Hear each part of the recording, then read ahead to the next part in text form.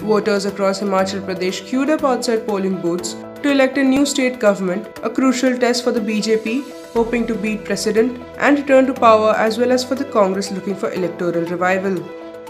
Voting began at 8 am on a slow note in the hill state but began to pick up as the morning progressed and the winter chill eased a bit. The polling will continue till 5 pm in all 68 assembly constituencies. In a Twitter post, Prime Minister Narendra Modi urged voters to enthusiastically participate in the festival of democracy and register a voting record. Chief Minister Jairam Thakur echoed him and said every vote will help build a prosperous Himachal Pradesh.